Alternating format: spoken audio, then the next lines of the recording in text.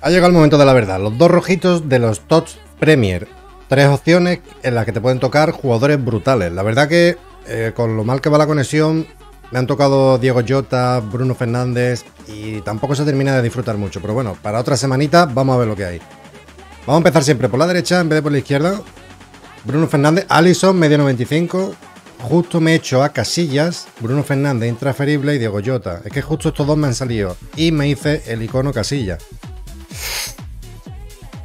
Es que, no vea, qué mala suerte, ¿no? Los portugueses, ¿qué pasa, tío? Lo están regalando muchísimo. Me voy a pillar a Allison por la media, porque es que los otros dos igualmente, ¿qué hago? No los puedo vender ni nada. Y a ver, no sé, un Bandai, un Arnold, aunque no cueste mucho dinero, lo quiero fichar. Eh, Cristiano. Eh, hay bastantes cositas por ahí, pero vamos a darle. Arnold, bueno.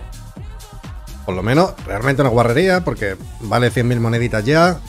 Es de los más baratitos que hay, junto a dos más, creo. Diego Jota tampoco está muy caro. Pero es que ha bajado impresionante. Ten en cuenta que, claro, como todo el mundo está haciendo esto, todo el mundo tiene la recompensa, las de Squad Battle, los sobres de los Icon Swap.